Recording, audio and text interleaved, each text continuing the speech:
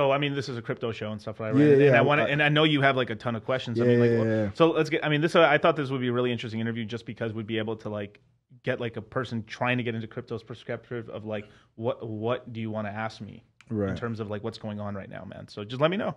So so number fir- first question, you know, th- there's probably a couple people that know me that are watching this, and Yep. everybody that knows me probably doesn't really do a whole lot into crypto. So Right. if you can explain in like 30 seconds what is crypto, like something very just concise.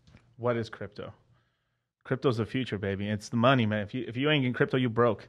But crypto is basically digitizing all money, assets, property, anything in the physical world is going to have a digital representation on the internet. Okay, That's what it is, and with complete ownership by you. so it's digital assets. Digital, it's digital assets. That's Okay. what that's truly what it is. But in it, this has existed before, but you've had problems with something like you used to make a song or you'd make a picture and your pictures would get copied everywhere, right?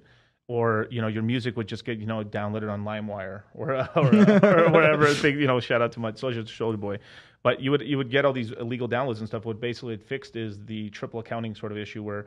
Um, you know, you would create a, uh, digital money online, and people would figure out ways to copy it. Where like now you can't copy Bitcoin because you can verifiably check this is the real Bitcoin on the real server or on the real line, and then that's what makes it really valuable because now since you can't copy, you can't make fake coins anymore.